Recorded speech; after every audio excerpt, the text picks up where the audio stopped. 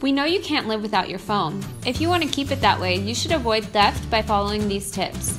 Above all, have some common sense. Don't make it easy for possible thieves. You can activate the anti theft feature to locate your phone or tablet anytime. You can also activate the movement alarm.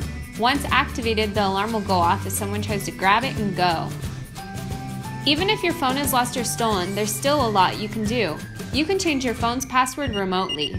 If someone attempts on blocking your phone three times, you'll receive an email with the thief's photo and location. And you can also erase your phone's data from your Panda account so that no one can access your photos or private information.